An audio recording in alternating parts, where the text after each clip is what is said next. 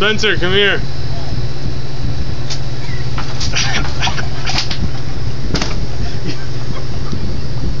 You're officially a hot dog heaven member now. Really?